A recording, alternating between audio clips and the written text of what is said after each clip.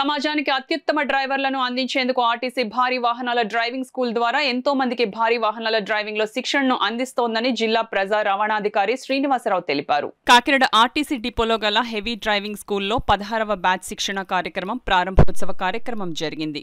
కార్యక్రమానికి assistant depot manager Balakrishna అధ్యక్షత వహించగా జిల్లా ప్రజా రవాణాధికారి శ్రీనివాసరావు ముఖ్య అతిథిగాను motor vehicle inspector Harinath Reddy విశిష్ట అతిథిగాను కాకినాడ డిపో మేనేజర్ మనోహర్ గౌరవ అతిథులుగా పాల్గొని శిక్షణలో పాల్గొన్న వారికి మెటీరియల్ను పంపిణీ చేశారు.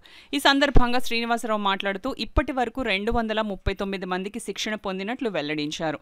అనంతరం డిపిడిఓ శ్రీనివాసరావు జెండా ఊపి కొత్త బ్యాచ్ను ప్రారంభించారు. ఈ కార్యక్రమంలో డ్రైవింగ్ ఇన్స్ట్రక్టర్ రామారావు తదితరులు పాల్గొన్నారు.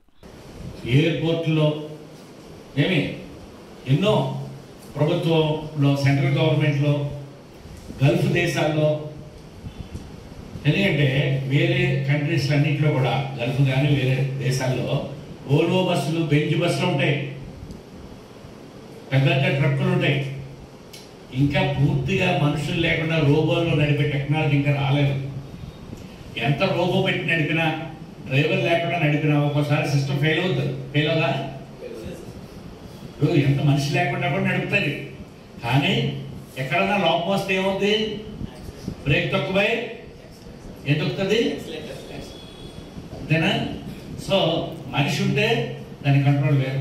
కాబట్టి మీరందరూ ఈ ట్రైనింగ్ ఉపయోగించుకుని బాగా ఏమి మరి దాంట్లో మీకు ప్రోగ్రామ్ ఇచ్చారు. ప్రోగ్రామ్ ప్రకారం మీకు అందరికి కూడా ట్రైనింగ్ ఇస్తారు.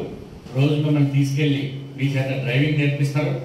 ముందు ఏబీసీ యాక్సిలేటర్ బ్రేక్ క్లచ్ అంటే ఏంటి? వాహనాన్ని ఎలా కంట్రోల్ చేయాలా? Head light lighting system engine కేపెల్ mileage ఎలా తీసుకురావాలా? యాక్సిడెంట్ జరగకుండా ఏం చేయాలా? నైట్ టైం ఎలా డ్రైవింగ్ చేయాలా? ఇవన్నీ కూడా మీకు వాళ్ళు నేర్పిస్తారు. ఈ ముప్పై రోజుల్లో బాగా నేర్చుకోండి. రామారావు సీనియర్ మరి డ్రైవర్ ఈయన. ఈయన చాలా మంచి ఇంధన పొదుపు అదేవిధంగా యాక్సిడెంట్ లేకుండా డ్రైవింగ్ చేశారు